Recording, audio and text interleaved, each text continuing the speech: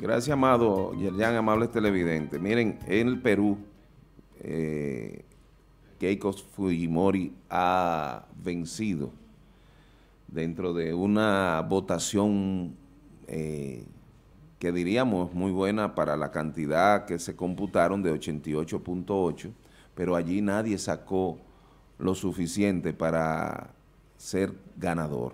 El más votado apenas alcanzó 18 alcanzó 18.88 y Keiko se cuela a la segunda vuelta, que es la hija del el expresidente Fujimori, eh, con un 13.25 frente a los demás eh, eh, partidos, como Avanza País con 11.90, de Soto pidió esperar con punto oficial total de saber quién sería el rival de Castillo, pero definitivamente Keiko tiene la mayoría porque Rafael López Aliaga, de Renovación Popular, apenas alcanzó 11.86.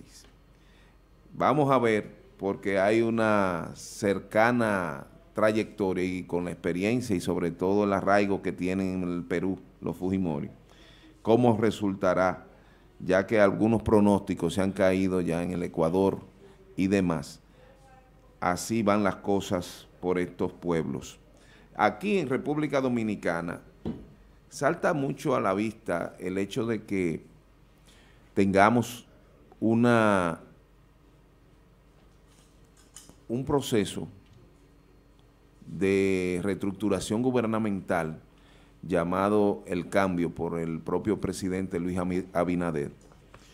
Y no quisiéramos nosotros pensar que esta, que esta tardanza o esta, este letargo en cuanto a la elección de las nuevas autoridades de la Cámara de Cuentas, que ha debido de ser sustituida, ya que ha sido tan cuestionada por el mismo gobierno.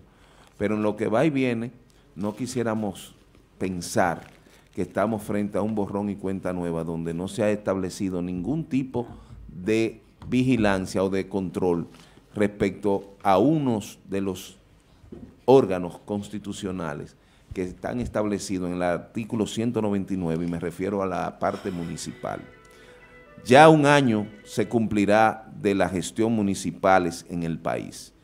Recuerden ustedes que a raíz de la nueva, de la reforma, se estableció que lo municipal fuera el día de elección o de apertura de la nueva directiva en cada alcaldía, fuera el 24 de abril de cada año, diferenciándose así en más de 52 años que teníamos de tener el 16 de agosto entraba el presidente, los legisladores, pero también el nivel municipal. En esta ocasión nosotros vamos a esperar, sobre todo con el que corresponde a nosotros, a San Francisco de Macorís,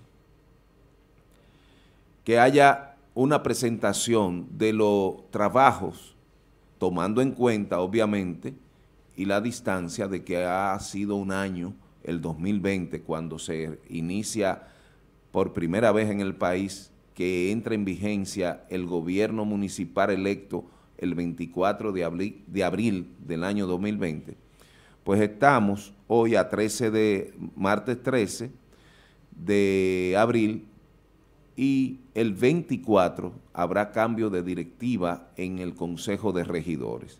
Este día los ayuntamientos deben de rendir cuentas el alcalde Siquio NG de la Rosa deberá de eh, presentar las memorias de ejecución del presupuesto del año 2020 y con él, y con él, las proyecciones que tenga para el 2021, que ya está en curso, porque esa es una un poco de la dicotomía que a veces eh, no se podía, no se veía que no fuera el 16 de agosto.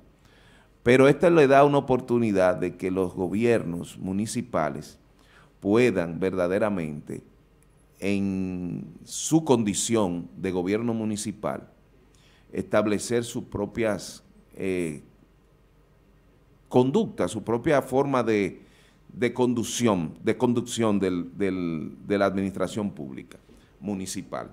Pero hay un aspecto que también nosotros queremos referir y es ¿qué ha sido del Consejo de Regidores de San Francisco de Macorís? ¿Cuáles han sido los logros? ¿Cuáles han sido las, las, su desenvolvimiento? Porque este es el órgano legislativo municipal. Y este órgano legislativo municipal debe de atender todas las cuestiones que sean sometidas para fines de sanción o de evaluación por este órgano. Y sabemos que el año 2020, por la pandemia, de dos sesiones al mes, los mismos regidores, por el tema del distanciamiento y de la situación, establecieron una sesión al mes. Pero ¿qué resulta? En cada sesión, el Consejo de Regidores debe dar informe, cada comisión, tanto de gasto de ejecución presupuestaria, porque hay una comisión de finanzas que establece, que presenta las ejecuciones presupuestarias correspondientes y sometidas a este órgano para su validación.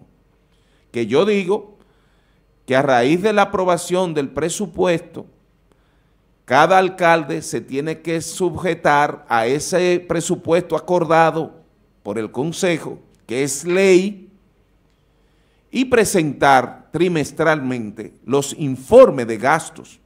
Solo aquellos gastos que son extraordinarios son los que debe presentar en la próxima sesión el alcalde.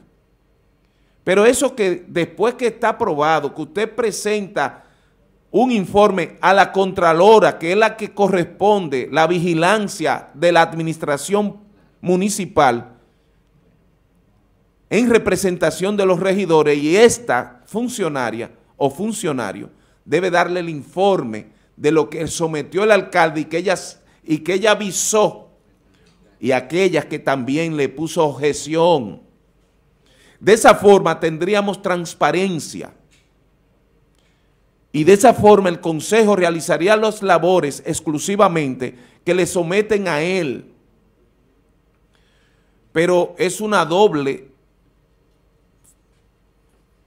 función la de aprobar un presupuesto que le indica al alcalde y que tiene las cuentas, cómo deben usarse y que tiene un equipo económico y este está obligado, dice la ley, tres meses, cada tres meses presentar un informe, que es el mismo informe que se envía a Tesorería Nacional y a la Contraloría. Por eso hay un contralor municipal que es el más cercano a las operaciones administrativas del alcalde. Ese es el vigilante y el funcionario de mayor, de mayor poder interno que tiene el ayuntamiento después del alcalde. Porque esa, ese funcionario, contralor municipal, si encuentra algún detalle que le falta a una ejecución presupuestaria, esta puede objetarlo y devolverlo y decirle al alcalde no o a la gerente financiera del municipio. Los regidores tienen la obligación de vigilar a través de esa funcionaria que toda la gestión financiera sea correctamente aplicada. Pero hay un aspecto que nosotros tenemos que criticar. Están fallando, están durando mucho tiempo y tanto el Consejo como todas las entidades tienen un plazo para dar respuesta a las solicitudes, en este caso, de traspaso de solares o de derecho de, arrendamiento. Tienen un plazo para emitir una decisión respecto a las legalizaciones de solares. Tienen un plazo para referirse a solicitudes de uso de suelo ya que el uso de suelos no se comprende y los regidores actuales parece que no lo han comprendido. Y hay una parte que tiene que ver con construcción en el, en el, en el municipio que tampoco la están comprendiendo y se está permitiendo que el, que el, que el planeamiento urbano siga otorgando permiso simplemente complaciendo a proyectos de ingenieros sin las evaluaciones y sin las correcciones Y eso me está preocupando, porque aquí yo he visto construcciones que no están siendo supervisadas y se están perdiendo las aceras y siguen construyendo como le da la gana en este pueblo, muchos de ellos. Por eso, sin cámara de cuentas en el país, porque la que está, aunque no ha sido sustituida, debiera de estar, pero ¿cómo cuestiona al gobierno? ¿Cómo cuestiona la, la oficina de los municipios?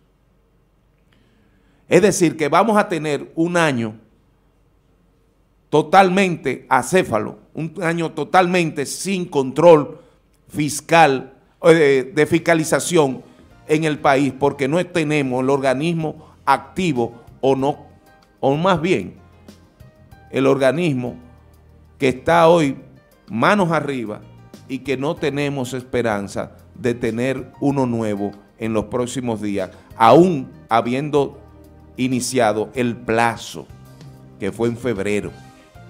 Por lo tanto, esperamos la rendición de cuentas es este 24 de abril por las alcaldías de San Francisco de Macorís y del país y del Consejo de Regidores en la gestión que le ha correspondido del año 2020-2021 y que haya comprensión del acuerdo social y que la sociedad vigile, vigile el comportamiento de estas instituciones, porque es el control social, el principal control, y después le siguen la Cámara de Cuentas, la Contraloría y demás. Muchas gracias.